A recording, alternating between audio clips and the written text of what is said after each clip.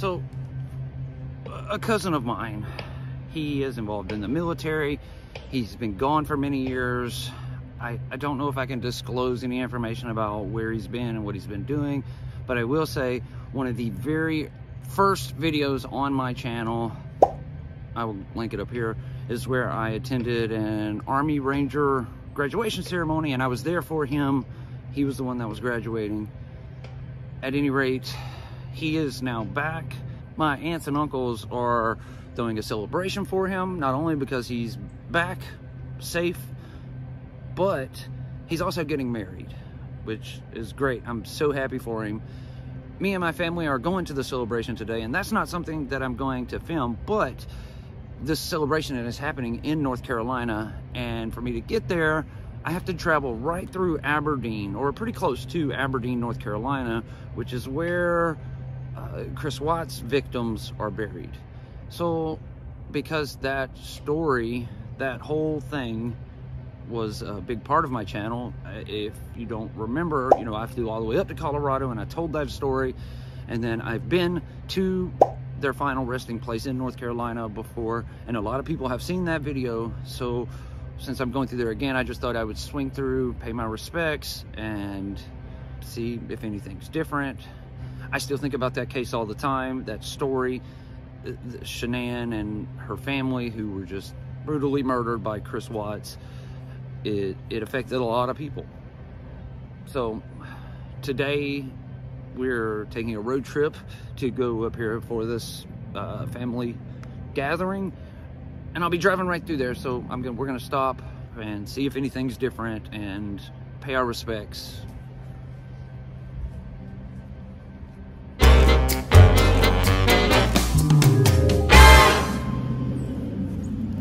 Some of you came to my channel because I had told this Chris Watts story and I had gone to the locations where it happened. And I had even come here to Aberdeen, North Carolina and paid my respects to the victims.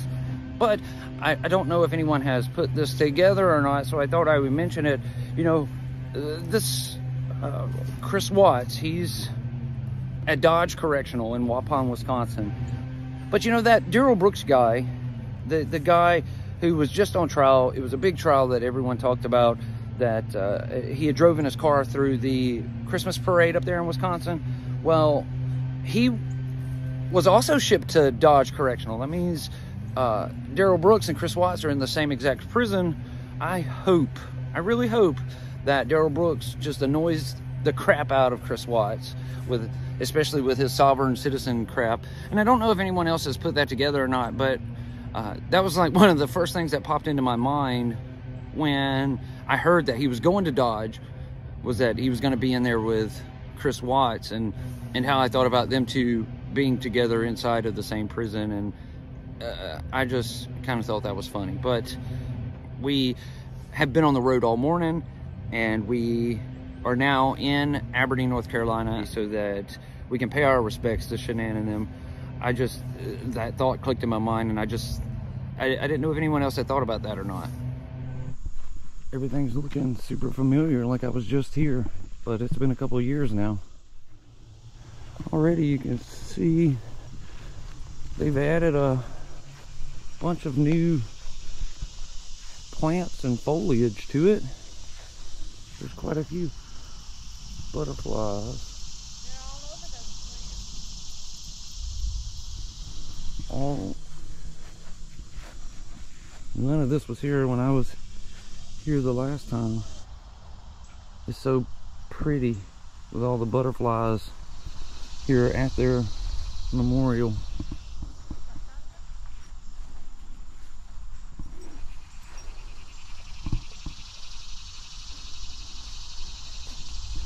and oh that's brand new God bless our family. That's cool. There it is. The actual memorial itself is still the same. Uh oh Okay. They now have erected this sign. So, that's it. So it looks like um, our family doesn't want, you know, a lot of people coming and, and filming their uh, memorial there or anything. So uh, we will we stop immediately as soon as we saw the sign. It is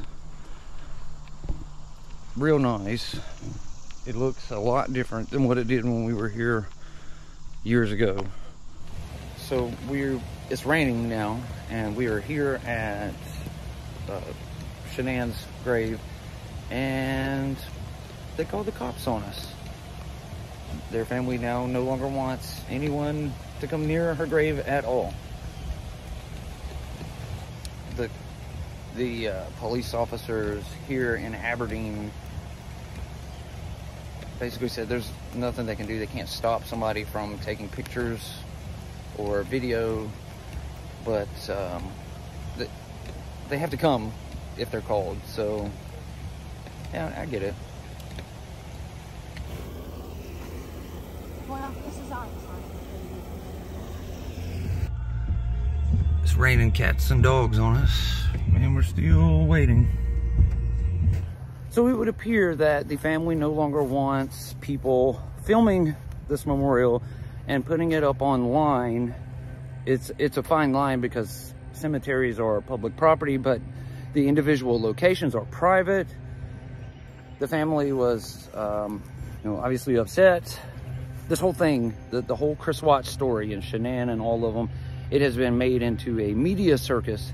A lot of media was involved with this story and I, I guess they're trying to combat that so they no longer want people video recording the property although if you're not on their property there's not a whole lot they can do about it they are asking for people to be respectful and to not do it which is why they put the sign up apparently this whole thing stemmed from people coming out here and being disrespectful